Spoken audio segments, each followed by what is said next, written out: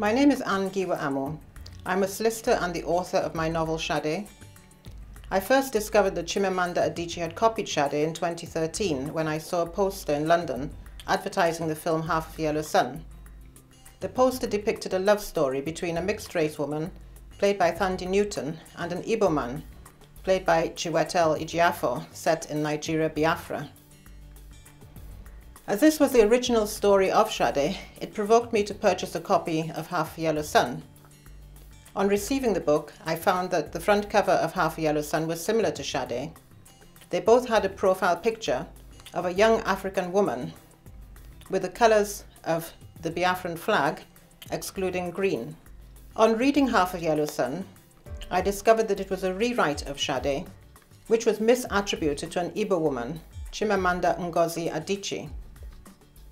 In this video, I'll put forward evidence to show that after Heinemann Nigeria published Sade in 1999, Chinua Achebe contacted Chimamanda Adichie, who started to work on the infringing novel with the assistance of three editors.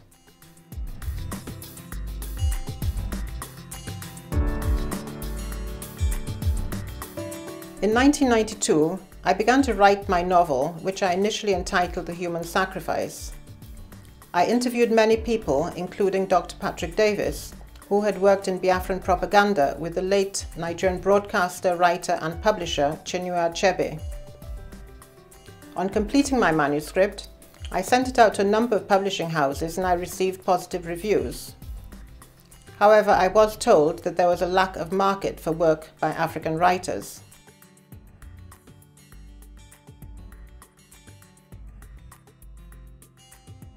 In 1995, I sent my manuscript to Heinemann Educational Books in the UK.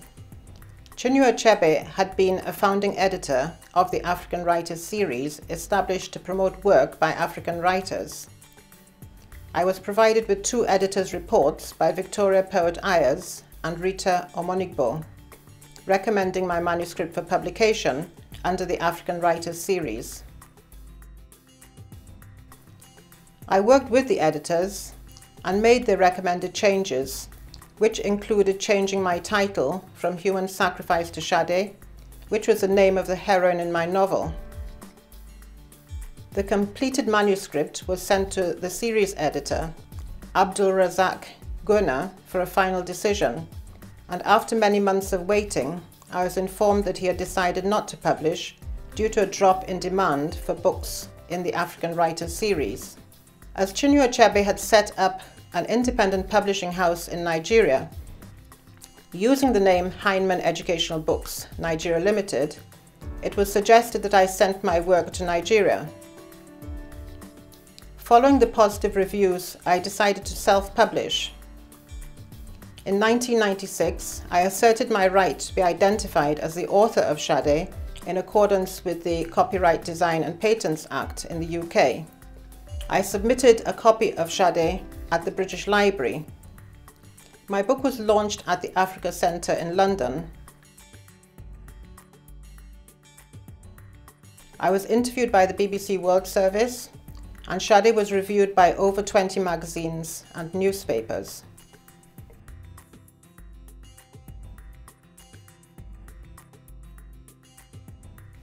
In 1998, I sent a copy of my manuscript to Heinemann Educational Books Nigeria, where Chinua Achebe sat on the board of directors as the main decision maker. Olawepo Sogo, an employee at Heinemann, asked me to put forward a subtitle for the Nigerian edition, and I suggested The Rising Sun or United We Stand. I was told by Olawepo Sogo that Professor Achebe read and accepted Sade for publication at senior secondary school level. In 1999, Sade was published by Heinemann to be sold in Nigeria under the subtitle Sade United We Stand. I granted Heinemann a 20-year license, which expired in 2019. The license required my written permission before any adaptation could be made to Sade.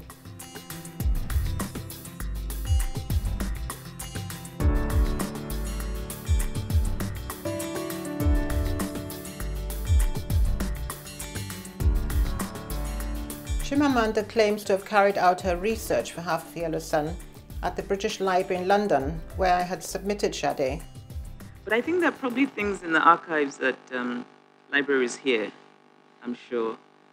Um, I know that when I was researching, um, when I was researching Half of Yellow Sun, I, there were things at the British Library that I looked at. I mean, that's not that's not pre-colonial, but still.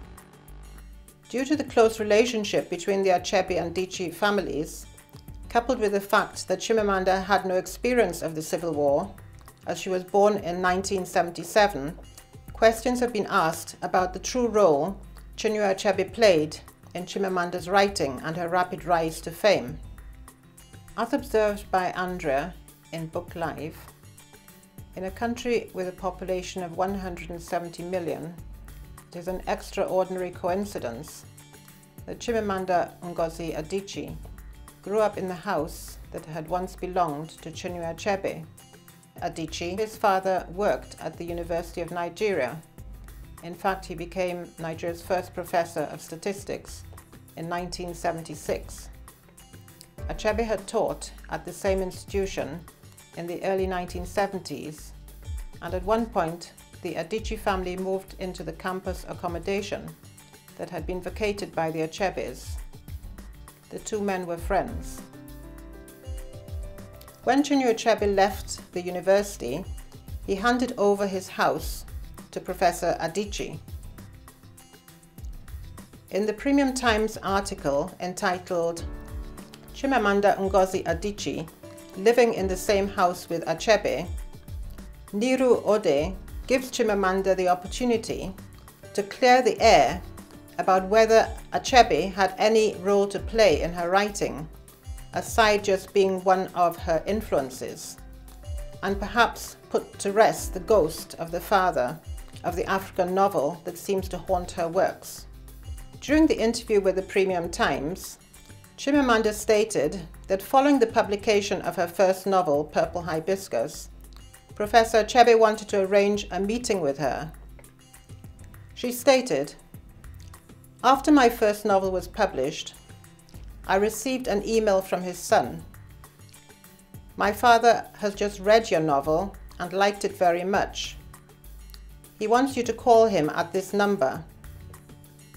One of Achebe's sons, Ikechukwu Achebe, is an alternate director to the late Achebe at HEBN Publishers plc, a company taking over from the liquidated Heinemann Educational Books Nigeria plc. Chimamanda confirmed that after her communication with Achebe, she started working on the infringing novel Half of Yellow Sun with the assistance of three editors Mitzi Angel, Anjali Singh, and Robin Desser. When they had completed half of Yellow Sun, Chimamanda confirms that one of her editors took the manuscript to Chinua Achebe for his approval and endorsement. My editor sent Achebe a manuscript of my second novel. One afternoon she called, Chimamanda, are you sitting down? I have wonderful news. She read me the blurb Achebe had just sent her. We do not usually associate wisdom with beginners, but here is a new writer endowed with the gift of ancient storytellers.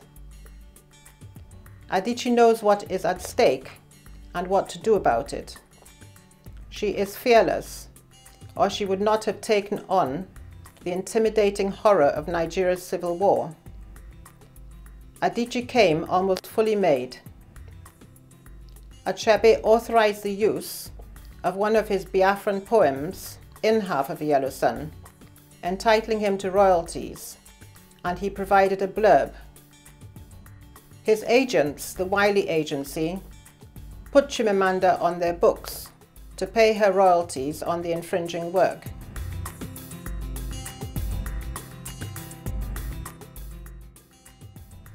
Although Chimamanda denied reading Sade, she has admitted in her address to Harvard class of 2018 that she is a routine liar.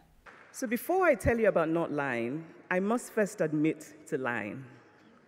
I routinely lie about my height, even at the doctor's office. In Lagos, when I'm meeting friends for lunch, I lie about being stuck in traffic when I'm really still at home, only just getting dressed. Now, there are other lies. Sadly, however, I cannot tell you about them without having to kill you afterwards.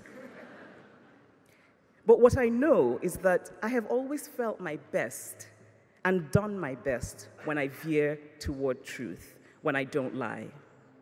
And the biggest regrets of my life are of those times when I did not have the courage to embrace the truth. Now, telling the truth does not mean that everything will work out. Actually, it sometimes doesn't. I'm not asking you to tell the truth because it will always work out, but because you will sleep well at night. And there is nothing more beautiful than to wake up every day holding in your hand the full measure of your integrity. I challenge Chimamanda to prove that she wrote Half of Yellow Sun by publishing her email correspondence with Achebe, publishing the original manuscript she sent to the editors, and by publishing the editor's reviews. It is a basic principle of natural justice that no one should profit from stealing another person's work. Chimamanda Adichie should not be allowed to reap where she did not sow, simply because she was chosen by Chinua Achebe to take over from him. I'm urging those that seek the truth to click on the links below where you'll find a detailed breakdown of the similarities between Sade and Half of Yellow Sun. Armed with this evidence, Ask Chimamanda to explain how it is that Sade permeates half of yellow sun. Stand against this fraud. Refuse to deal with Chimamanda Adichie or her agents. Refuse to distribute half of Yellow Sun. Refuse to sell it. Refuse to read it or teach it in schools and universities. It is time for Chimamanda to tell the truth and put to rest the ghost of the father of the African novel that haunts her work. Thank you for watching.